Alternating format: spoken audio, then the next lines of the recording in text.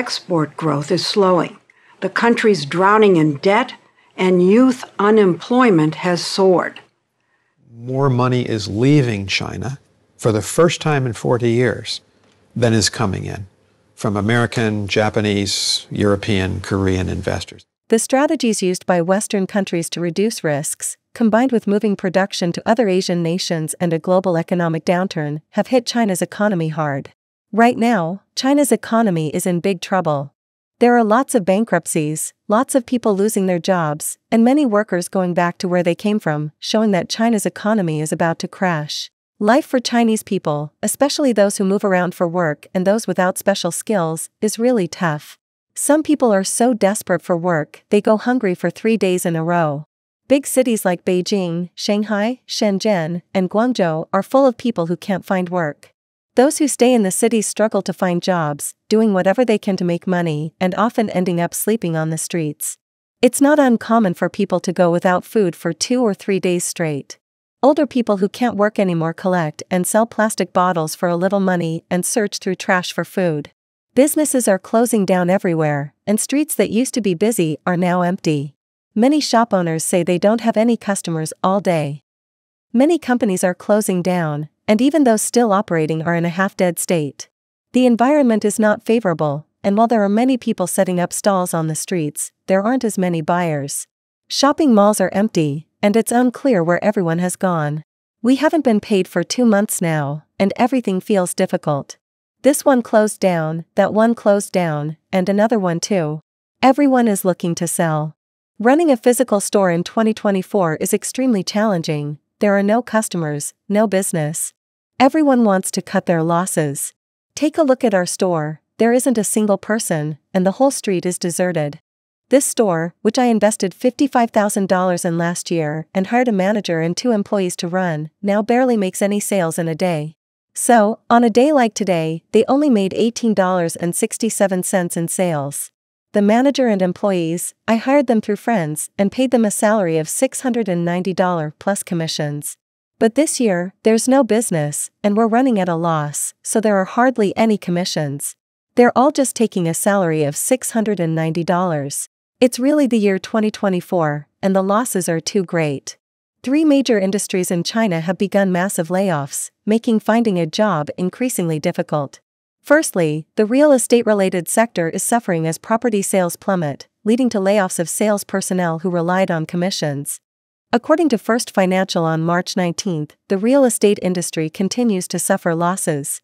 Currently, there are 58 real estate companies in the Shanghai and Shenzhen stock exchanges real estate sector that have released performance forecasts. Among them, 43 companies are expected to incur non recurring net losses last year, totaling approximately $8.79 billion to $11.76 billion. When combined with Hong Kong listed real estate companies, the total loss of the disclosed companies exceeds $150 billion. Secondly, construction workers and migrant laborers are also affected since fewer buildings are being constructed. Previously, construction workers earned high salaries, but now, they're facing unemployment. Lastly, many manufacturing factories are downsizing due to a lack of orders, and some are relocating to Southeast Asia for cheaper labor. The situation in 2024 is dire, with numerous challenges in various sectors. It's hard to believe, but many large companies are downsizing or cutting salaries, while small businesses are on the brink of bankruptcy. The average enterprise that was barely making ends meet last year is now facing significant losses. Even prominent brands like Starbucks, Luckin Coffee, and KFC have seen an influx of middle aged individuals pretending to be employed. In the real estate market, both upstream and downstream sectors are suffering, with properties remaining unsold.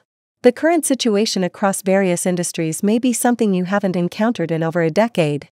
The stock market, real estate market, foreign exchange, foreign trade, and employment are declining.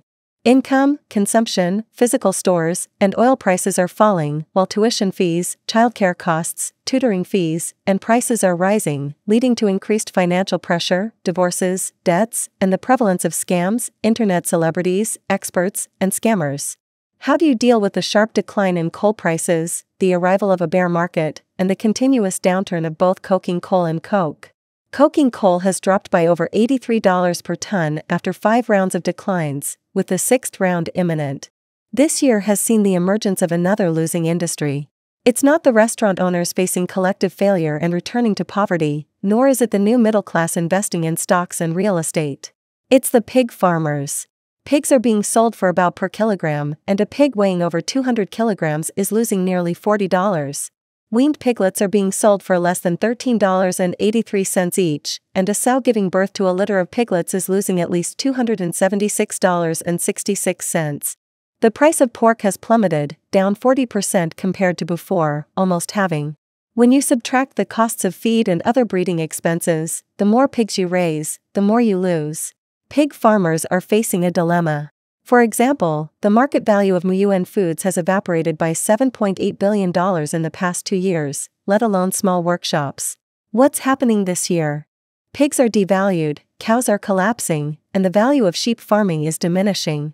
Even planting crops, such as cabbage, scallions, and corn, is now more unprofitable than ever. What's going on? Now, a large number of private enterprises are moving out. Obtaining a passport has become increasingly rigorous, with extensive questioning and uncertain outcomes, leaving many puzzled about the reasons behind it.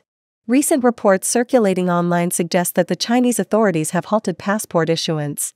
It's widely believed that the surge in passport applications has triggered authorities' concerns, prompting various measures to restrict passport issuance. In Jiangsu Province's Lianyungang City, banners denouncing illegal immigration have been prominently displayed, fueling discussions among locals about the suspension of passport services. An individual, using an alias from Hunan Xinyang, expressed frustration over a 20 day wait for passport processing, a delay causing immense anxiety. Reports suggest similar situations across China, with some regions halting passport services altogether or imposing stricter scrutiny. The entire world appears to be forsaking us. 2024 is set to be the most challenging year for international travel. A woman specializing in handling overseas affairs on the mainland mentioned that going abroad will increasingly become a daunting task. Numerous countries have already closed their borders to us, restricting our entry. Despite some recent visa waivers for tourism, lasting typically no more than a month, with many being just 15 days, study, immigration, and work visas are now inaccessible in many countries. Canada, New Zealand, and Australia are experiencing stagnation in student visa applications. Even Israel. You're aware of the situation. State owned and private projects, such as those in Canada, are facing waiting times exceeding six months post registration, with no updates. Japan and Singapore have also redirected their focus towards Southeast Asia. Some may inquire what about South Korea? Well, South Korea has a labor shortage of 163,000 workers this year, but most of these positions are being filled by labor from Southeast Asian countries. The estimated quota for Chinese workers is only around a thousand. Furthermore, once these 163,000 workers arrive in Korea this year, the labor market will be saturated. There won't be significant hiring in the short term, not even for construction projects, which are lagging behind even during the pandemic years.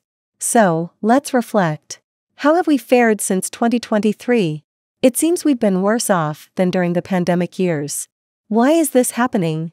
It feels like the whole world is abandoning us, isolating us from the global community. We've been in this industry for over a decade, and this is the first time we've encountered such challenges.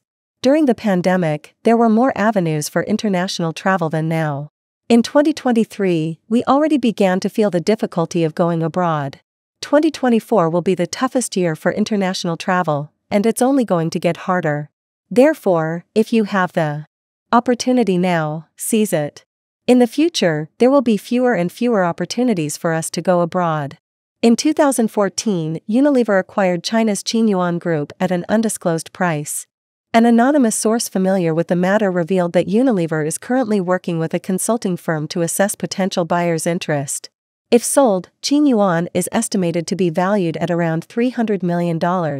Established in 1998 and headquartered in Ningbo, China, Qinyuan produces water purification products under the Truliva brand. Unilever stated that the acquisition of Qinyuan was its largest deal in China in over a decade, doubling its scale in the water purification business in the country. Unilever also owns the water purifier brand Purite and the air purifier brand Blueair. The consideration of selling Qinyuan stems from a range of uncertainties, including geopolitical tensions, trade barriers, regulatory challenges, and slowing economic growth, while other companies are also reassessing their operational risks in China. Japanese giant withdraws from China with losses for 10 consecutive years. Recent incidents involving Dutch journalists being denied access to cover protests in the neighboring Sichuan province underscore the ongoing challenges confronting foreign media in China. The Netherlands has decided to close its consulate in Chongqing, a significant move amidst China's struggle to attract foreign investors. The Dutch embassy in Beijing announced on social media platform X, formerly known as Twitter, that it would now handle matters concerning Chongqing and nearby provinces. Reasons for the closure included limited Dutch business presence in the area, as disclosed during a meeting with foreign business representatives in Chengdu. China's foreign ministry respects the Netherlands' decision, affirming each country's right to manage its diplomatic offices. However, tensions between Beijing and Brussels, exacerbated by the Ukraine conflict and trade disputes, have escalated, with concerns over economic security raised by the Dutch intelligence service. The Dutch government's alignment with U.S. policies to restrict China's access to certain high tech industries has further strained relations. Chongqing hosts consulates from only a few countries, including Japan, Canada, and Hungary. Meanwhile, recent incidents involving Dutch journalists being barred from covering protests in nearby Sichuan province highlight ongoing challenges faced by foreign media in China. When questioned about the incidents, China's foreign ministry spokesperson emphasized the country's commitment to protecting the rights of foreign journalists. Publicly available data shows that since 2023, 10 globally renowned companies have withdrawn from China, including Japan's Canon, South Korea's Samsung, Japan's Sony, Toshiba, Nikon, US Amazon, US LinkedIn, US Minutes Software Development Center, Japan's Astellas Pharma, etc. These companies have relocated their industrial chains to Thailand, the Philippines, or back to their home countries, affecting tens of thousands of Chinese employees. The recent announcement by Canon, a Japanese company, about terminating its operations in Zhuhai, China, marked another departure of a Japanese enterprise from China. This was seen as a considerable loss for the local community, as it resulted in reduced tax revenue and job opportunities. Due to increasing labor costs in the country, many factories had relocated to Southeast Asian countries like Vietnam and India. Additionally, the shrinking market for digital cameras, largely replaced by smartphones, contributed to this situation. With companies like Canon moving away, it was indeed considered a significant loss for the local community. Many people aspired to work in such factories, and now they had to search for new employment opportunities. It appears that major South Korean corporations are pulling out of China. Currently, Lotte Chemical has sold all its shares in Lotte Sanjiang Jiaxing Chemical, while LG's New Energy has sold its stake in Jianshiwa Battery. Samsung SDI has also sold its battery assembly companies in Wuxi and Changchun. Hyundai Motor sold its factories in Beijing and Chongqing in 2021 and 2023, respectively, and plans to sell its factory in Changzhou this year. Hyundai Kia Logistics has also sold all its shares in a joint venture company in Changzhou.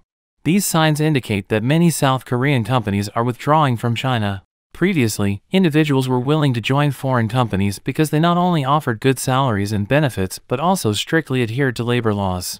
However, with a large number of foreign companies leaving the Chinese market, it seems like either times are changing or they're being phased out themselves. It makes us wonder what's really going on?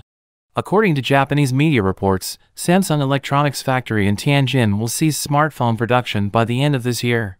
The reason cited is a significant decline in Samsung smartphone sales in China, leading to insufficient factory operations. However, Samsung's smartphone factory in Huizhou, Guangdong, will continue production. Globally, the smartphone market is saturating and Samsung's market share is declining, necessitating a restructuring of its production layout. As reported by the Nikkei on December 13, Samsung's Tianjin factory primarily manufactures smartphones and other electronic products. According to company insiders, smartphone production will cease on December 31st. The news of Samsung withdrawing from the Chinese market has stirred widespread interest and speculation. Despite being a globally renowned electronics manufacturer, the reasons behind Samsung's departure from such a lucrative market have raised questions. Samsung's decision to leave China wasn't abrupt. As far back as 2018, Samsung had already announced the closure of its last factory in Tianjin, aiming to streamline production in China to cut costs and enhance efficiency. However, Samsung's performance in the Chinese smartphone market has consistently disappointed. With a market share of less than 1% in 2019, Samsung lagged behind dominant local brands like Huawei, Xiaomi, Oppo, and Vivo, leading to a gradual erosion of its market position. Samsung's exit from China is intertwined with the political climate. The escalating US China trade tensions severely impacted Samsung's operations in China. Retaliatory measures by the Chinese government, such as chip purchase bans and restrictions on Samsung phone sales, further constricted Samsung's presence in the Chinese market. The pandemic also dealt a blow to Samsung's business in China, exacerbating its losses. Sony Corporation of Japan, a Fortune Global 500 company, has recently decided to withdraw from China. Sony, known primarily for producing televisions and cameras, also manufactures semiconductors, chips, and precision sensing instruments. Its annual sales in China contribute to one third of its global sales. Despite its initial success and popularity in China, Sony's market share has been declining due to competition from domestic brands. As a result, Sony has chosen to completely relocate its production line to Thailand, where it will focus on producing electronic sensors primarily for Western markets like Europe and the US. Sony's presence in China dates back 27 years, initially focusing on after sales service before expanding into research, development, production, and sales. While Sony once thrived in China and was ranked as one of the world's most beloved brands, its withdrawal indicates deeper reasons beyond market competition. With the ongoing decoupling between China and the US, especially in the semiconductor sector, Sony's operations in China would be severely impacted by potential supply cuts from the US. This situation leaves Sony with no choice but to withdraw from China in the long run. While China's market is significant for manufacturing and labor-intensive industries, some argue that foreign companies like Sony may view it as dispensable, especially considering the trend of continuous withdrawals and relocations to Southeast Asia. This trend, coupled with a decline in the number of Fortune Global 500 companies setting up research and development centers in China since 2018, raises concerns about the country's ability to retain foreign investment and its position in high-tech sectors. Despite China's claims as the world's second largest economy and largest manufacturing country, its reliance on foreign companies for capacity and foreign trade achievements is evident. The departure of companies like Sony raises questions about China's ability to control its market and compete in high-tech areas independently. After over 40 years of development in China, Toshiba is withdrawing from the country, marking another Japanese giant's diminishing presence in China's business landscape. The decision comes as Toshiba struggles to maintain profitability amidst escalating production costs and diminishing labor advantages in China. The closure of all 33 factories in China by December 2021 reflects a shift of electrical operations to Vietnam and the relocation of research centers back to Japan. This move is attributed to both external and internal factors. Nikon and HP recently announced the closure of multiple legal entities in China, while Foxconn increased its investment in India.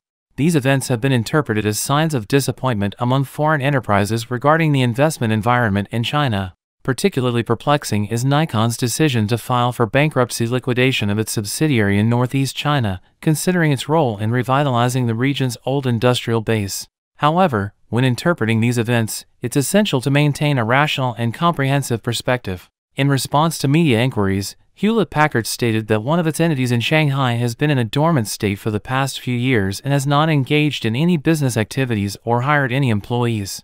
With approval from the headquarters, the deregistration process has been completed smoothly. This action should not affect the normal operations of Hewlett Packard's other two companies in Shanghai. While deregistration is a regular business operation, withdrawal of investment is a different matter, signifying the company's decision to actively withdraw from the market. Will Hewlett Packard leave China? Based on common sense, it seems unlikely. The company's main products, printers, and computers, are produced using an outsourcing model similar to Apple's. The production bases in mainland China, located in Chongqing and Shanghai, mainly handle trade and marketing. If withdrawal happens, it will likely start with the outsourcing factories before affecting Shanghai companies. Therefore, the deregistration of Hewlett Packard's Shanghai entity may not be the precursor to a larger storm. Despite concerns, recent years have seen rumors of Hewlett Packard's commercial laptop manufacturer relocating to Mexico. This shift could be due to rising labor costs, trade protectionism, and the uncertainties caused by the COVID 19 pandemic impacting China's manufacturing advantage. Nikon's subsidiary in Northeast China has been operating at a loss for many years, with losses exacerbated during the pandemic, making bankruptcy liquidation a logical step. On the other hand, HP's closure of multiple sales companies is primarily the result of business adjustments.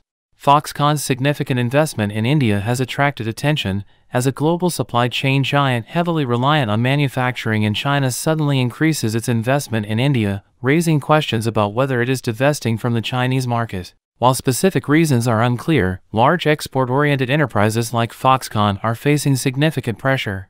The looming shadow of the US China trade war and supply chain disruptions caused by the pandemic have led to a reevaluation of globalization, prompting enterprises to adjust and rebalance their global footprint. The announcement by the American e-commerce giant Amazon to withdraw from the Chinese market underscores the sheer magnitude and potential of China's economy. Amazon's decision to exit the Chinese market undoubtedly reflects a challenging reality. It suggests that Amazon no longer sees viable prospects for growth and sustainability in China's market. Public data shows that in terms of market share in the Chinese e-commerce market, Amazon China held a peak market share of 15.8% in 2008, which was the only high point for Amazon China. After that, its market share gradually decreased year by year, with figures from 2012 to 2018 as follows 2.3%, 2.7%, 1.5%, 1.2%, 1.3%, 0.8%, 0.6%. When Amazon's e-commerce market share dropped to 0.6%, Tmall, JD.com, and Pinduoduo held market shares of 55%, 25.2%, and 5.7% respectively. The data clearly illustrates that Amazon China was being squeezed by the aggressive players in China's e-commerce landscape. The space for Amazon China's development was shrinking, while the tripartite dominance formed by Alibaba, JD.com, and Pinduoduo was becoming more stable. According to a message from LinkedIn's public account on May 9, 2023, the professional networking platform will cease its localized job search service, LinkedIn Workplace, in China by August 9, 2023. Additionally, business clients will no longer be able to recruit talent in mainland China or use related inside functions. Furthermore, the individual job posting feature and the China specific LinkedIn Recruitment Special Edition will also be discontinued. LinkedIn attributed the decision to cease LinkedIn Workplace services in China to increasingly fierce market competition and challenges in the macroeconomic environment, leading to the necessity of ceasing services. This adjustment will result in the cessation of product and engineering teams in China, as well as the reduction of positions in functions, business, and marketing departments. Recently, Japan's largest tire manufacturer, Bridgestone, closed its factory in Shenyang, laying off more than a thousand employees. Pictured is Bridgestone's headquarters in Japan. As the Chinese economy continues to decline, foreign companies are accelerating their exodus. Recently, Japan's largest tire manufacturer, Bridgestone, closed its factory in Shenyang, laying off more than a thousand employees. Since last year, 10 well known foreign companies have left China, affecting tens of thousands of Chinese employees. According to Bridgestone's notice issued on February 27, the company stopped producing commercial vehicle tires at its Shenyang factory on January 26 and closed the factory on February 29. It is expected to terminate commercial vehicle tire production and sales in China in the first half of 2024. Financial scholar Si Ling told Radio Free Asia that Japan was one of the earliest source countries of foreign investment in China. In recent years, including Japan, many foreign companies have withdrawn from China. The trend of foreign companies voting with their feet indicates an accelerated pace of withdrawal, which is inconsistent with the praise given by the CCP government to its business environment.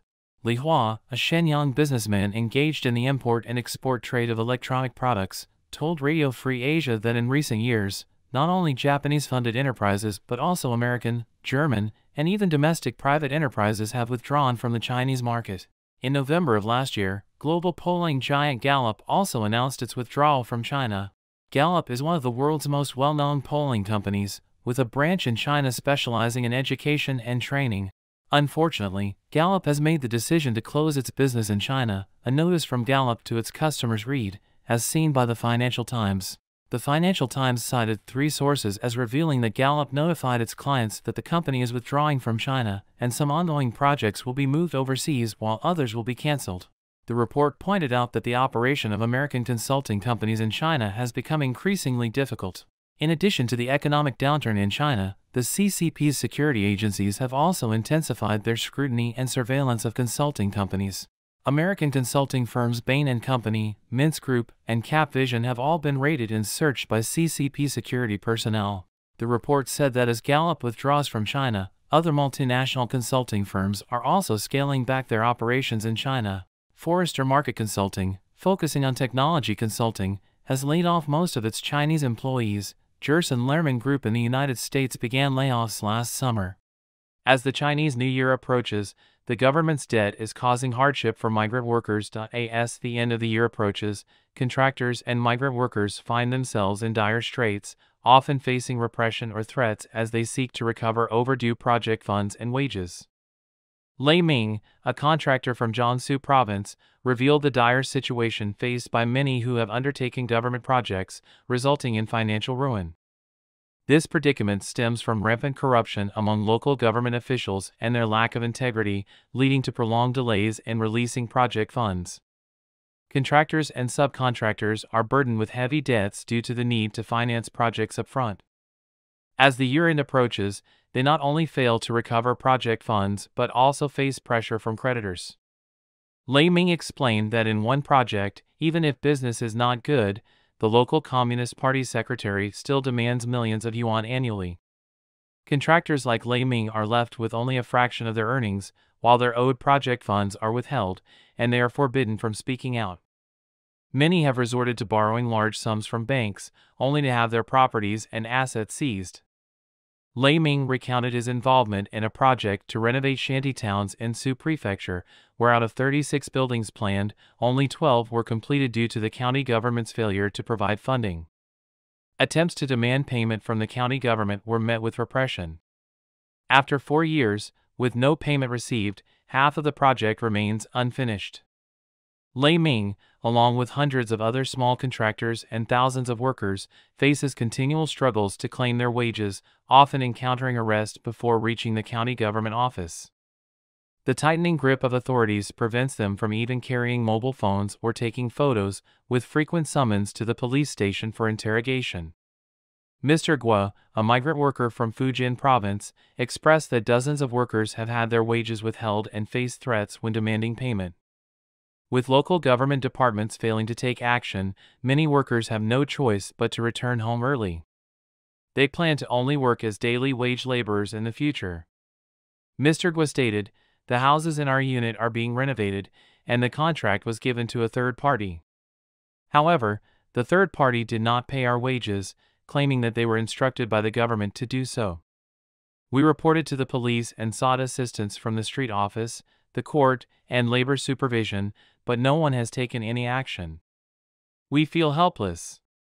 Mr. Liang, an employee of China Railway, revealed that it's common practice within state owned enterprises like China Railway to delay payments for construction projects and other expenses. Despite being a publicly traded company, its financial reports are often embellished, masking the fact that it consistently operates at a loss. Mr. Liang stated, When we build railways and roads, it's considered a political task, so delayed payments are frequent. Arrears in materials, labor fees, and subcontractor payments are widespread. It's common for subcontractors to be owed money, and it's not unusual for us to go several months without receiving our wages. As the Chinese New Year approaches, protests and wage disputes by workers are occurring daily across the country. On February 6, 2024, in Zhangjiang Town, Guigang City, the Hakka Impression City owed wages to 130 migrant workers. Despite petitioning efforts to the Guigang Petition Bureau, they were unsuccessful in obtaining their overdue salaries. Similarly, on February 5, 2024, in Huanghua City, Hebei Province, workers at Hebei Jinbang New Materials Company, Limited, involved in projects related to 80,000 tons of annual epoxy resin production and 200,000 tons of annual potassium sulfate production, blocked entrances, and demanded overdue wages. Meanwhile, a large number of small and micro enterprises are closing down, exacerbating the already difficult situation for laborers. The unhealthy state of China's small and micro enterprises is affecting the employment of 180 million people.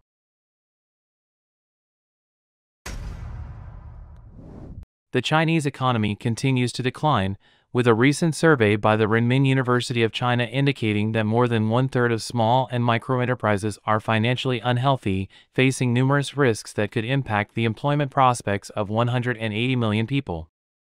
The China Inclusive Finance Research Institute, CIFI, of Renmin University conducted a study titled Financial Health of Small and Micro Enterprises based on 2,349 questionnaires and recently released a report on the financial health of small and micro enterprises.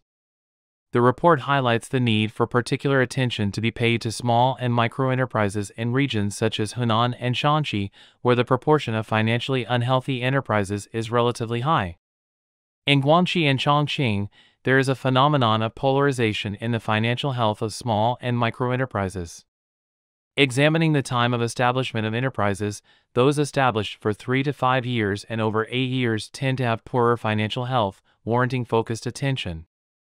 In terms of daily financial management, the issue of overdue accounts receivable is particularly severe for small and micro enterprises, leading to significant pressure on cash flow that requires special attention.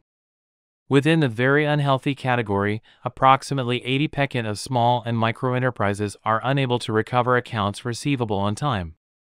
The Chinese economy is in a mess, with various waves of unemployment erupting, and homeowners facing foreclosure are forced to leave their homes and end up on the streets. This morning, our neighbor's house was foreclosed by the court just because they missed last month's mortgage payment.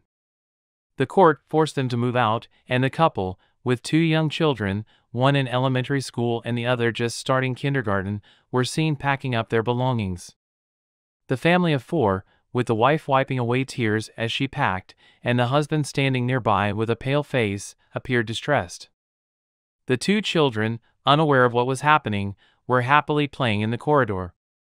It's really hard to imagine how they will manage to get by in the future. It might even lead to divorce. I, in fact, I've already handled hundreds of foreclosed properties in Shenzhen and have seen nearly a hundred broken families. But even so, this situation still feels incredibly painful, like something is blocking my heart. So, I sincerely advise everyone that if you don't have much money on hand and your income isn't stable, be cautious about buying a house. Nowadays, many people buy houses like they buy cell phones. If a couple's combined monthly income is just over 10,000, they dare to buy a house with a monthly mortgage payment of over 10,000. My goodness! This kind of home buying behavior is simply suicidal. Buying a house now is completely different from before. In the past, you could buy a house with your eyes closed and still make a profit from rising prices. But now, houses have returned to being primarily for living and improving quality of life. Comfortable and affordable amenities are the top priority. Just make sure the size is adequate.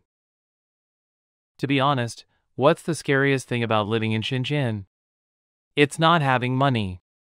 Everything requires money food, children's education, even flushing the toilet. Even if you don't eat or drink, you still have to pay property management fees every month. If one day you can't afford to repay your mortgage, the bank will sell your house at a discount or even auction it off at 56% of its value. In the end, we'll be responsible for selling your foreclosed property. I truly hope there were no foreclosed homes in this world, but by the time it reaches us, it's already out of our hands. Recently, there have been more and more foreclosed properties in Shenzhen, and tragedies like this happen every day.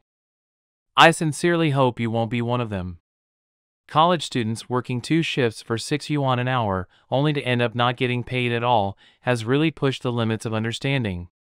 Yesterday, I went for interviews for three jobs, and my goodness, I couldn't believe how low the wages they offered were. It felt like a blatant violation of labor laws. The first job interview I went to was at Luckin Coffee. I had asked them in advance on WeChat about the wage, and for the first 15 days, it's 8 yuan per hour. Can you believe there are people getting paid even less than us at this Luckin Coffee branch? So, for the first 15 days, it's 8 yuan per hour, and if you pass the barista certification, it's 15 yuan per hour for the next 15 days. If you don't pass, it's 12 yuan per hour. Basically, it's around 2,000 yuan for the first month, 2,700 yuan for the second month, and from the third month onwards, it's just base pay plus performance incentives. Then I thought about it and went for an interview at another place, a convenience store. When I asked about the wage and working hours, they said they pay by the day, 60 yuan for a shift, and a shift is 9 hours long. Plus, the morning shift starts at 7 o'clock. I haven't woken up at 7 o'clock since I was preparing for the postgraduate entrance exam. And now, just for 60 yuan, I have to start work at 7 in the morning, which means I have to get up at 6. It's outrageous.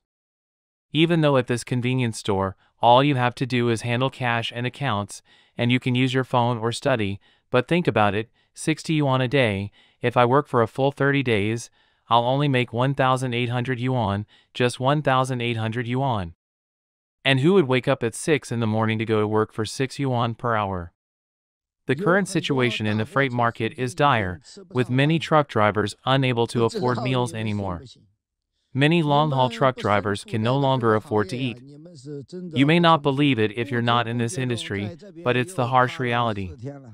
Unconsciously, I've been stranded here for four days without any work. And it's snowing again.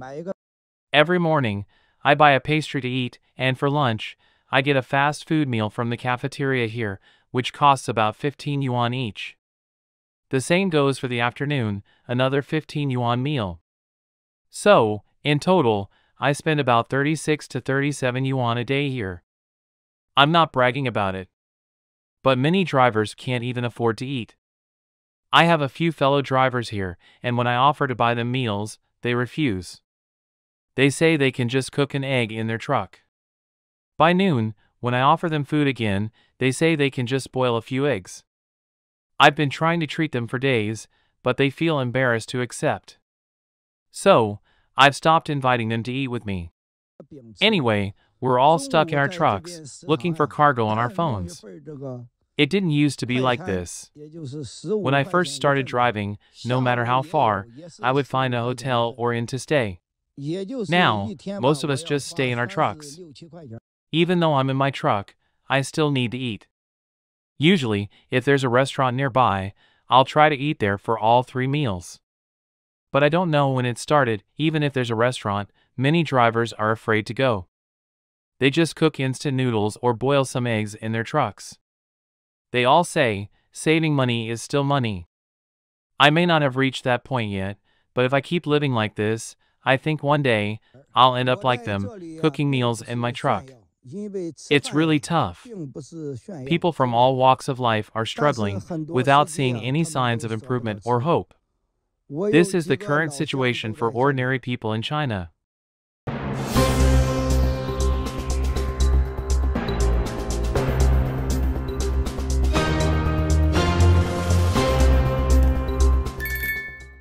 This was the scene when I went to the supermarket around 9 o'clock in Hong Kong.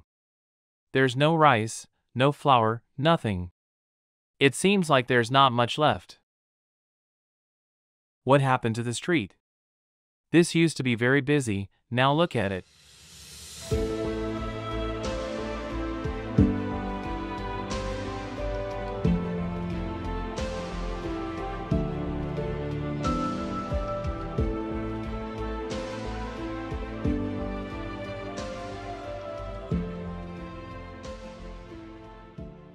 This supermarket in Hong Kong is empty like they are in a war zone. The economic downturn in Hong Kong has been precipitated by several critical factors, with the enactment of the national security law at the forefront, creating a domino effect on the city's economic vitality and global image. This law has induced a palpable sense of apprehension among international investors and local businesses concerned about the erosion of Hong Kong's autonomy and its world renowned legal and business framework. Adding to these woes, Hong Kong's stringent pandemic measures, among the world's strictest, have significantly isolated the city from both international visitors and its biggest source of tourists, mainland China. The impact is stark. Prior to the pandemic, in 2018, Hong Kong hosted an average of 5.4 million visitors a month, a figure that dwindled dramatically in the ensuing years. The West Kowloon shopping mall was almost deserted at 9 p.m., and many shops were forced to close. Thousands of shops closed. Hong Kong has fallen so deep. There is no nightlife in Hong Kong, and it has become very deserted now. It is still early in the evening, and only convenience stores are open on the street. The cessation of this vital stream of tourists has had a cascade effect on the retail, hospitality, and service sectors, pivotal components of Hong Kong's consumer economy. In stark contrast to earlier years when these sectors thrived on high spending tourists, recent times have seen a shift toward a more budget conscious visitor demographic.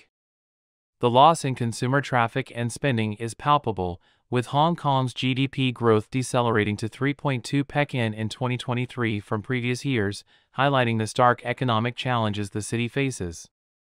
According to recent data from the Hong Kong Tourism Development Bureau, from January to November 2023, only 30.07 million visitors came to Hong Kong, significantly lower than the 52 million visitors in the same period in 2019 before the mask-related events occurred. This represents less than 60 Pekin of the tourist numbers from the same period in 2019. There are three evident reasons contributing to this decline in Hong Kong's appeal. Firstly, Hong Kong's role as a gateway to the world for China has diminished. Hong Kong was once a city where East and West cultures converged, providing a unique blend of Western cultural heritage and inclusiveness. However, the intensification of competition and conflicts between China and the United States has impacted Hong Kong's status as a window for international exchange. Secondly, the allure of duty free goods in Hong Kong has decreased. Hong Kong, as a free port, used to offer tax free imports and a variety of international brands at lower prices compared to the mainland. However, with the further opening up of mainland China and the establishment of free trade zones, individuals can now purchase duty-free goods locally, reducing the cost advantage of Hong Kong.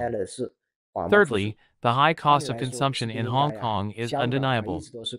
Expenses such as hotel accommodations in Hong Kong have risen, surpassing the average levels of 2018.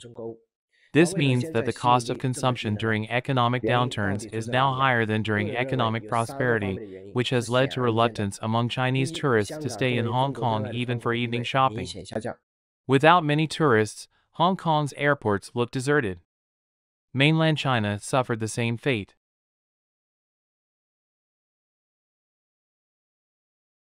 This airport looks like it has no one. The ramifications of these overarching issues on local businesses have been profound.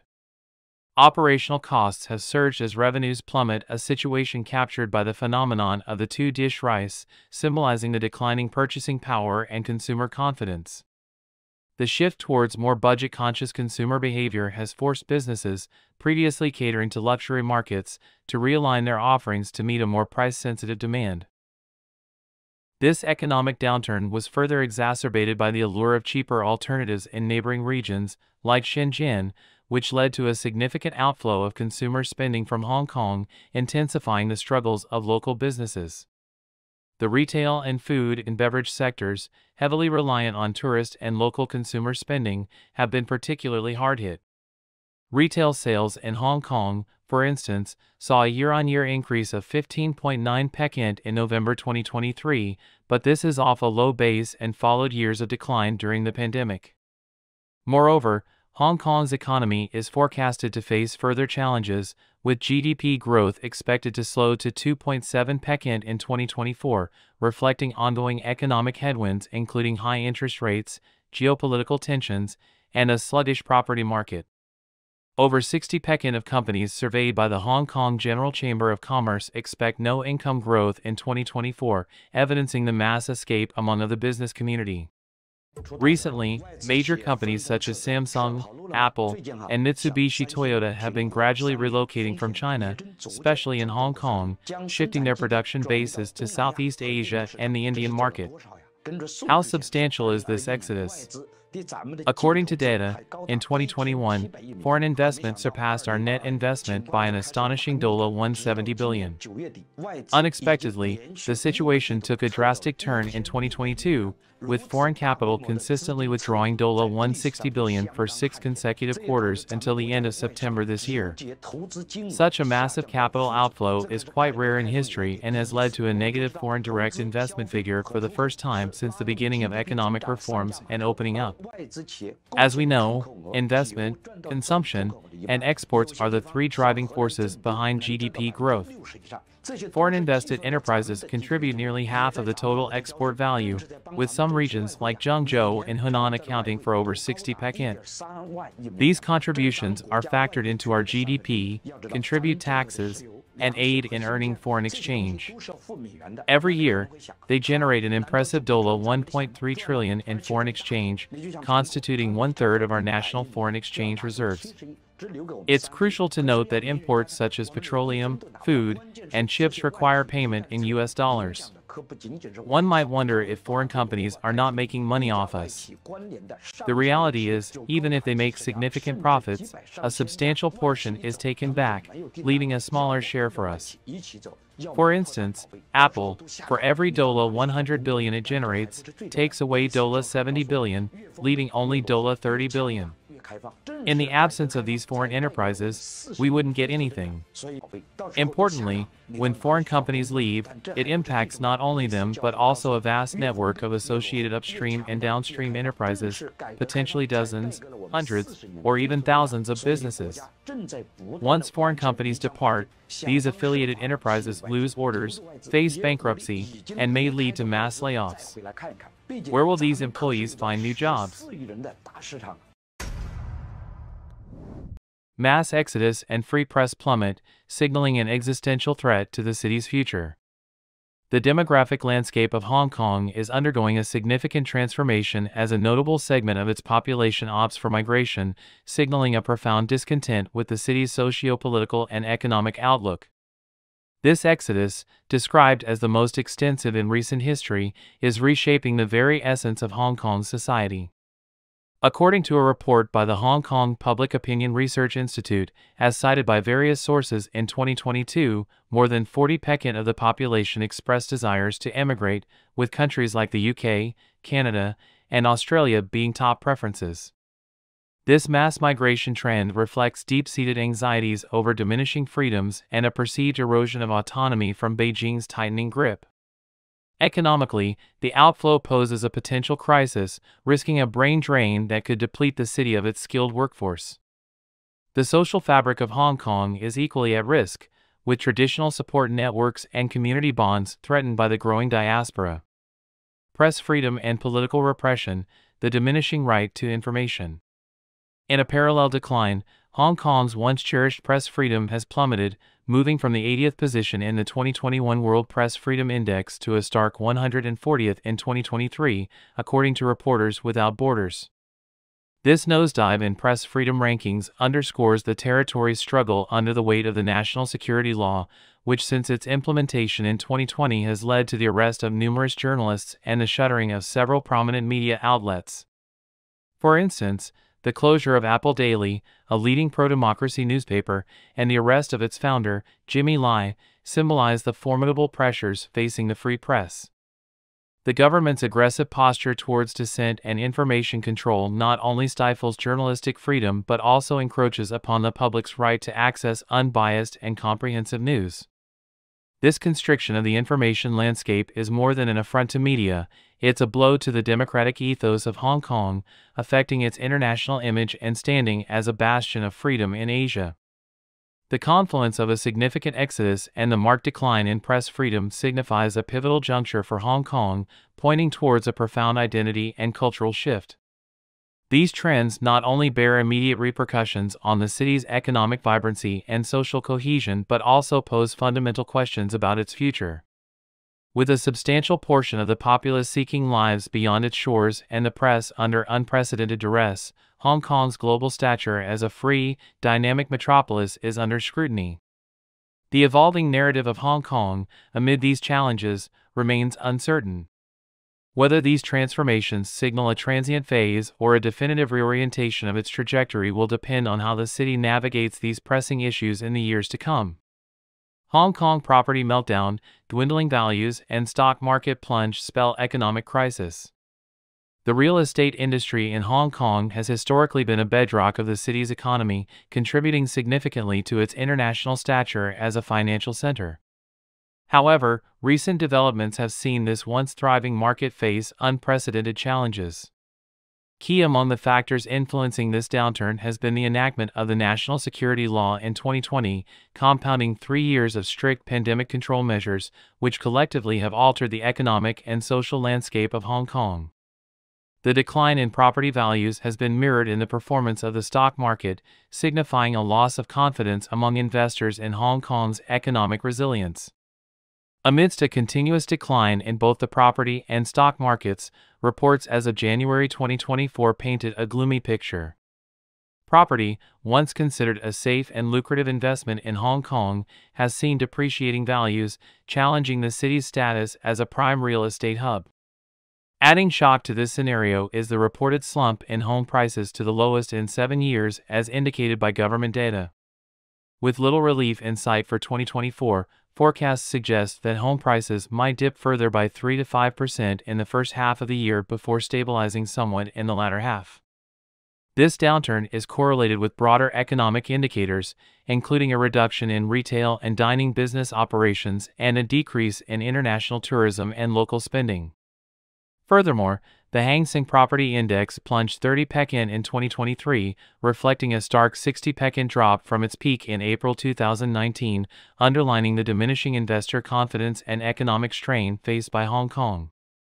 The implications of declining property values extend beyond investors and homeowners, affecting the broader economy of Hong Kong. Real estate is intertwined with various economic segments, including construction, finance, and retail. As property values plummet, the knock on effects could lead to reduced consumer spending, a dip in construction activities, and a cautious approach from foreign investors contemplating their stance in Hong Kong. The outlook for 2024 does not bode well for recovery. Industry experts anticipate further challenges as higher interest rates persist and economic growth lags. For instance, luxury residential markets are expected to see falls of 15 Pekin to 20 Pekin in values, including townhouses, as higher mortgage costs and fewer mainland buyers continue to impact the market. The commercial sector, particularly the office and retail spaces, anticipates a moderate growth driven by specific demands but overall remains in the shadow of uncertainty. Hong Kong's property market is enduring a challenging phase, reflective of broader economic setbacks. As the city navigates through these tumultuous times, the resilience of its real estate sector, once the envy of many, is put to the test, setting the scene for potentially transformative shifts in one of the world's most dynamic urban landscapes. The recovery path seems arduous and contingent on a myriad of economic, social, and political stabilizations, aiming to recapture the confidence of both local and international stakeholders in Hong Kong's property market. Let me tell you a cruel truth about Wenzhou now. You might find it hard to believe that many Wenzhou residents, especially business owners, are living in extremely difficult conditions. Unlike previous years, when factories were busiest at this time, it's like filling bags with money at the end of the year. This year is different. It's not because there are no orders, it's because many factories dare not take orders. In our current shoe business, we might have to wait for three months or even more exaggeratedly, six months to receive payment. Before the Chinese New Year, we can't get the money, but we still have to pay our workers' salaries, settle payments to suppliers, and cover production costs.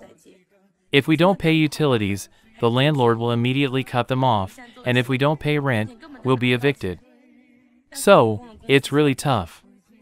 We can't take big orders now, and even small orders are risky because of the poor market conditions. If we encounter a customer who disappears without paying, we would end up working for nothing in a year. That's why moving forward feels like stepping into an abyss, and stepping back feels like facing a cliff. It's really challenging. I went for three job interviews yesterday, and oh my, I couldn't believe how low their salaries were. It felt like a violation of labor laws.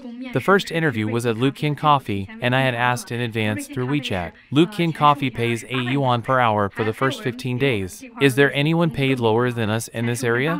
It's 8 yuan per hour for the first 15 days. Then, if you pass the barista certification, it's 15 yuan per hour. If you don't pass, it's 12 yuan per hour. In simple terms, I asked in the store, and it's around 2,000 yuan for the first month. 2,700 yuan for the second month, and from the third month onwards, it's a basic salary plus performance pay. I considered it for a moment and went for the interview. The next job was at a convenience store. For convenience stores, they calculate the pay by day. It's 60 yuan for a day's work, and how long is a shift? 9 hours. Also, the morning shift starts at 7 a.m. I haven't woken up at 7 a.m.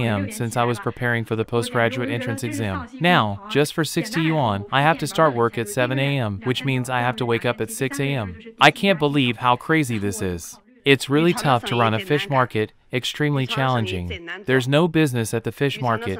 We don't want to just stay flat, and we don't want to lie down and win either. But we can't get it rolling. Look, there's not a single customer. Can I go out on the street to attract people?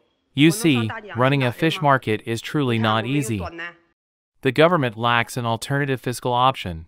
Even in affluent regions like the Yangtze River Delta and the Pearl River Delta, many government officials complain about the lack of funds, unable to pay salaries. You can imagine the situation. In places like Shunde and Nanhai in the Pearl River Delta, including the Jiangsu-Zhejiang region, they are unable to pay salaries. Civil servants are facing pay cuts, and teachers are dealing with salary reductions and subsidies. What's the reason behind all this? The inability to achieve an eight hour workday in five days, despite being a violation of labor laws, continues with constant overtime. The reason is simple a significant portion of employment in China relies on low end manufacturing industries with extremely low basic salaries ranging from 1580 yuan to 2580 yuan. Considering the expenses of buying a car, a house, supporting a family, and even affording meals, many people choose voluntary overtime as they dare not offend these companies. The simple reason is that the high end sector hasn't fully developed, lacking pricing power. It's unable to rely on technology or patents to make money. Faced with the choice between two evils, companies are forced to continue providing employment opportunities without hiring additional staff. These companies depend on squeezing surplus labor and value to generate profits. If the situation were to be properly regulated, these companies might not even have profits, and they might relocate to areas with higher profits, attracting even lower wage workers. This is why China's touted demographic dividend is based on the availability of cheap labor. A master's graduate in liberal arts criticized low salaries at job fairs, with an average wage of only 4,000 yuan. This became a trending topic on Chinese social media. Some people were angry, considering it a waste of talent for graduates from top universities to earn the same as security guards. Others argued that these students were too picky and unwilling to endure hardships. To discuss things objectively, China has around 50 million companies, with only about 5,000 listed companies. After excluding a few hundred thousand state owned enterprises, the remaining 99% are small and medium sized enterprises, providing 80% of employment opportunities. Most of these SMEs have low technical barriers, so they don't require high academic qualifications and can't afford high salaries. They seek individuals who are inexpensive, reliable, and willing to work hard. For young people, a fresh graduate's monthly salary of 6,000 yuan to 7,000 yuan is considered reasonable for a white collar position. Having a bachelor's degree is a plus, but even without a college diploma, it's acceptable. So, aiming for high wages at offline job fairs is the wrong approach. Additionally, even in large companies, not all positions offer high salaries. In any industry, regardless of company size or job position, there are generally four categories technical, functional, business, and support. From the average perspective, technical roles are lucrative, with high entry barriers and high salaries. Functional roles are the least cost effective, with high entry barriers and low salaries. Business roles have low entry barriers but high salaries, and successful individuals often emerge from this category. The final category, support services, has low entry barriers and low salaries but is the easiest. So, individuals should assess their job types to determine their direction for higher wages. Even if you join a large company and work in a core technical or business position with a high salary, most people won't make it to the management level. Therefore, by the age of 35, the salary ceiling is around 10,000 yuan to 20,000 yuan per month. Only industries like finance, the internet, and high tech can break through this salary limit. This outlines the earning path for a wage earner. As a wage earner in China, even if you have a stable and respectable job within the system, the earnings remain similar. In lower tier cities, the monthly salary for units on the outskirts is around 5,000 yuan. For top tier cities, popular units don't exceed 20,000 yuan. Looking ahead to 2024, it's essential not to deceive yourself into thinking tomorrow, the day after, or next year will be better. New growth points are still far away. This is not pessimism, but a call to face reality. For private entrepreneurs seeking improvement in the coming year, it's crucial to understand what happened in the past, how it was resolved, how much time it took, and how much capability is needed. Evaluate whether next year will be better or worse with a pragmatic attitude. The economy will face a relatively challenging period in the next five years. This is a rational analysis because the current total social debt is several times China's GDP, and solving the issue of social debt won't happen within five years. GDP deception The truth behind China's dubious 5.2% GDP growth announcement. In 2023, China grappled with substantial economic hurdles, marked by soaring unemployment rates, widespread salary slashes, and a wave of business closures. Despite these adversities, the Chinese Communist Party, CCP, declared a noteworthy 5.2% growth in GDP for the year, a proclamation met with skepticism from experts. Premier Li Qiang, in a bid to showcase optimism, delivered a message of economic amelioration and a steadfast commitment to openness during the Davos Forum. Nevertheless, doubts persist among economists, corporate leaders, and the workforce, particularly as private entrepreneurs voice apprehensions about the challenging business landscape. The unveiling of China's economic data for 2023, touting a GDP growth surpassing 5%, failed to instill confidence in the stock market. Significant drops were observed in major Chinese stock indices, underscoring a prevalent lack of faith, particularly among foreign investors who divested a substantial amount. Analysts underscore disparities in China's economic data, pinpointing a struggling stock market, challenges in the real estate sector, and obstacles confronting the three pillars of the economy investment, consumption, and exports. The CCP's credibility comes under scrutiny as experts entertain the possibility of China being in an economic recession. Apprehensions surface regarding the opacity and politicization of statistical data, casting doubt on the veracity of the reported figures.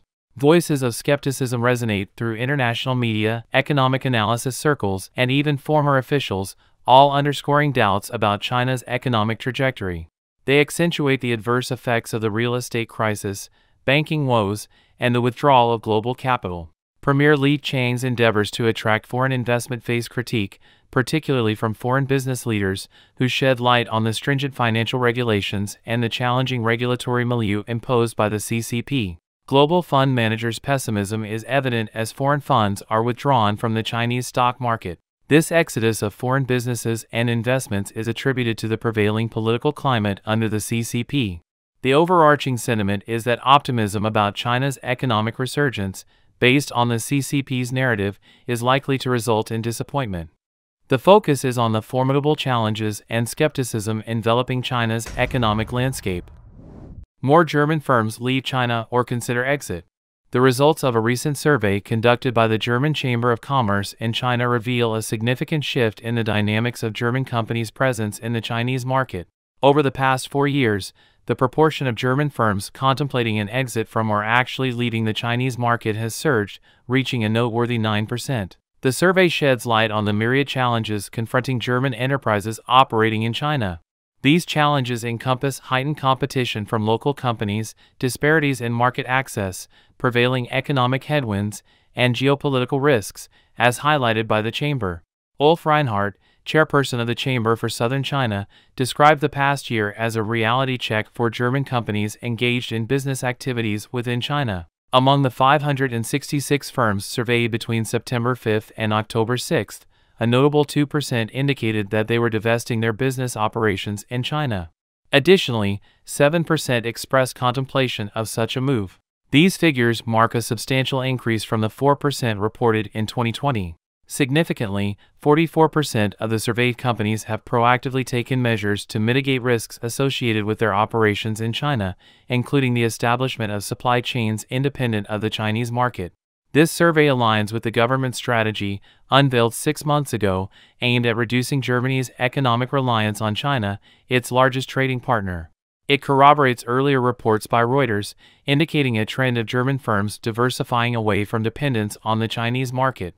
The broader context involves global concerns about China's assertive stance toward Taiwan, its activities in the South China Sea, and its tightening control over the domestic economy. Many Western countries are actively promoting risk mitigation strategies in response. Amid these developments, a significant 86% of German firms acknowledged perceiving a downward trajectory in China's economy. China's recovery from the pandemic has proven to be less robust than anticipated, with challenges such as a deepening property crisis, rising deflationary risks, and subdued demand casting a shadow over the outlook for the year. Several manufacturing companies are pulling out of Shenzhen and Guangzhou. The first casualties in this unfolding scenario are the factories, especially those heavily dependent on Western orders. Recently, Shenzhen Daqhua Acoustics Electronics, Shenzhen, Limited Company, a well established Hong Kong funded toy factory operating for nearly 30 years, and once a contract manufacturer for globally renowned toy companies such as Disney, announced a halt in its operations. In a notice issued on January 13, Daqhua Acoustics, Shenzhen, cited severe operational pressure due to adverse conditions caused by the pandemic and the current economic environment. The company has long faced losses, with insufficient income to cover expenses and no signs of improvement. Consequently, starting from January 12, 2024, the company will cease production and disband all its employees. Headquartered in Hong Kong, Daqhua Acoustics Electronics, Shenzhen, Limited Company established its mainland factory in Longgang District, Shenzhen, in 1994, employing over 2,000 staff. The company exports its products to countries such as Europe, the United States, and Japan. Daqhua Acoustics is a globally renowned high end electronic toy manufacturer involved in design, research and development, production, and sales. The company specializes in plastic electronic toys, remote control toys, electric toys, and high end electronic consumable products. Its contract clients include major global toy companies such as Mattel, Sega, Tomy, and Disney. The impact on migrant workers is evident as factories shutter, resulting in a massive loss of jobs. Once thriving factories, like the one in Dongguan, now stand deserted, with idle machinery. Factory owners, including John Waylowen, founder of D Works Precision, have witnessed a significant decline in orders, with some enterprises on the brink of closure due to substantial losses. The shortage of orders, supply chain shifts, and reduced overseas orders have created a challenging environment for foreign trade enterprises, particularly those catering to European and American markets. Small scale restaurants in Shanghai, like Ollie's Beef Noodle Restaurant, face tough times due to reduced consumer spending power and fewer migrant workers, leading to closures. Furthermore, numerous factories, particularly those reliant on orders from Western countries, notably the United States, have been significantly affected, resulting in a substantial loss of orders.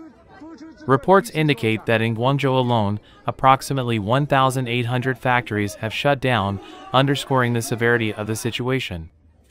These closures have triggered a distressing trend where a considerable number of workers are being denied their rightful wages. A factory worker in Guangzhou lamented the factory's bankruptcy, highlighting the financial turmoil faced by both businesses and workers. The non payment of wages appears to be on the rise, raising concerns about worker exploitation and the broader implications for the workforce. According to data from the China Labor Bulletin, CLB, which monitors workers' rights in China, there has been a staggering increase in labor disputes and cases of labor rights violations. As of November 2023, there were 16,104 reported cases, surpassing annual figures from the past three years. Guangdong Province, known for its numerous factories, remains at the epicenter of these labor conflicts. The CLB's analysis attributes the surge in worker protests to the global economic downturn caused by the pandemic, leading to a wave of factory closures in coastal provinces and intensifying protest activities among workers. Guangdong, once hailed as the world's factory, has faced significant challenges, with foreign companies relocating and supply chains shifting to other regions. China's bakery and catering scene, a tale of economic woes.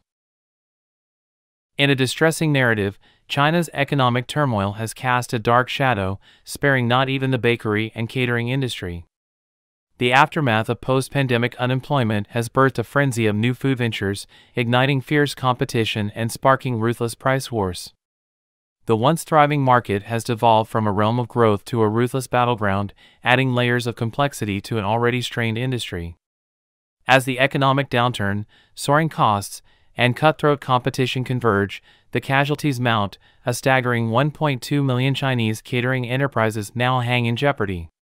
The heartbreaking shutdown of an upscale pastry shop, located strategically at a vibrant intersection on December 1, 2023.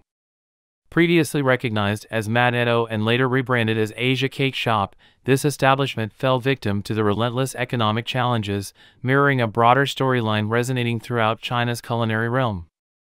This unfortunate incident underscores the harsh reality that even for businesses situated prominently in city centers, financial hardships can lead to bankruptcy and eventual closure.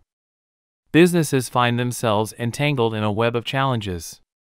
The proprietor of a shuttered bakery shares a harrowing tale of six months in operation, bleeding approximately 1.1 million yuan. The economic strain, coupled with exorbitant operational costs, rent hikes, and meager profits, resonates as a common refrain among business owners, culminating in the agonizing decision to cease operations. The toll on China's catering and retail sector is staggering. The annals of 2023 witness the demise of over 120,000 bakeries and pastry shops, a grim testament to a surging closure rate. This ominous trend contrasts starkly with the emergence of a wave of 2 yuan bread shops, adapting to evolving consumer preferences in an increasingly price sensitive market. Even esteemed brands such as Christine, Tiger Attitude, and Dim Sum Bureau of Momo find themselves ensnared in the economic quagmire, grappling with closures and painful downsizing. The erstwhile glamour of the high end baking industry, rooted in opulent locales and extravagant decor, now battles a stark reality a chasm between perceived value and the dwindling willingness of consumers to pay a premium. Investor interest in bakeries wanes, marked by a precipitous drop in financing events and amounts. Alarming data exposes the ephemeral lifespan of China's bakeries, with over half facing closure within a mere 32 months. Food industry saturation results in surplus food delivery drivers exploited by the CCP to manipulate the impoverished. Amidst a lingering three year pandemic fallout, China grapples with a persistent economic downturn and soaring unemployment rates the Chinese Communist Party, CCP, in its bid to inspire the youth, consistently promotes tales glorifying adversity. However, skepticism surrounds the narrative of Chen Su, a 26 year old Shanghai food delivery driver who asserts earning an astounding 1.02 million Chinese yuan in three years by working 18 hours a day, fulfilling over 116,000 orders.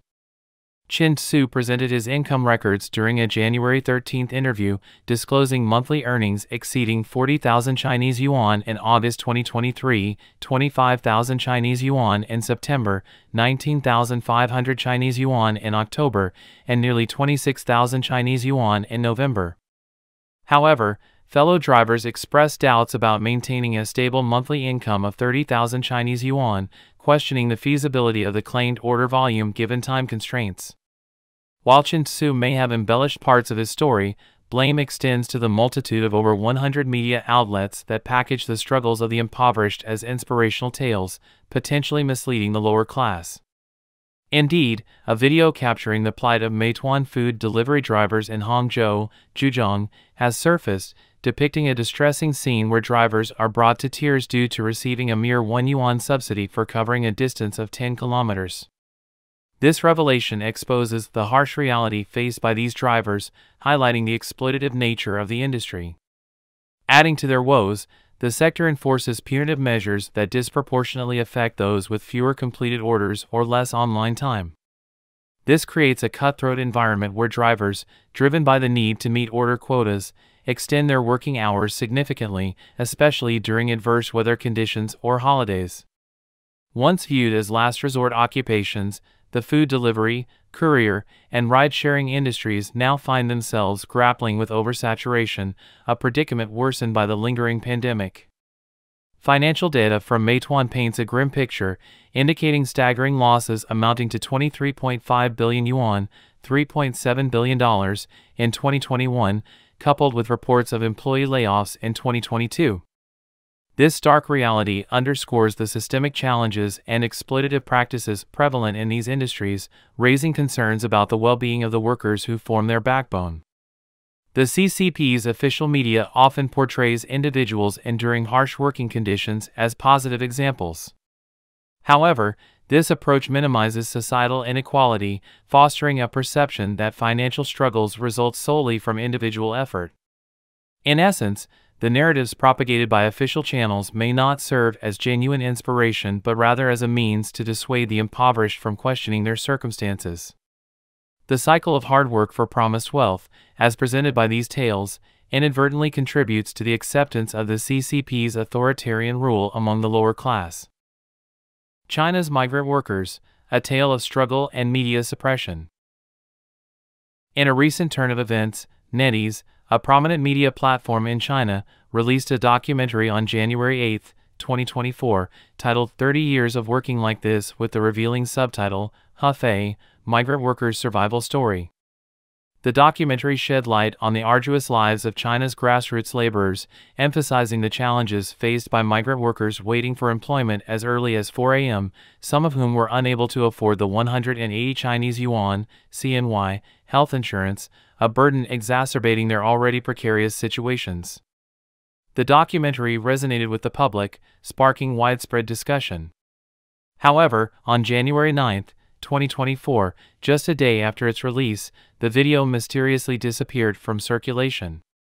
Simultaneously, all related discussions and comments, including those on the Zhihu website, were systematically erased on January 10, following the removal of the video on January 9.